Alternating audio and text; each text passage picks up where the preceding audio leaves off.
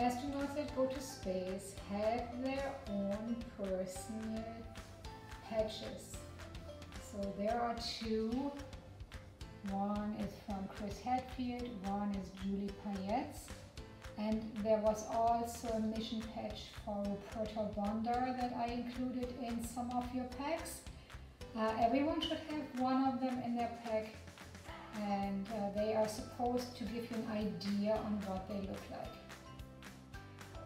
Today we will try to create a personal patch that can include interests, values or perspectives that we hold dear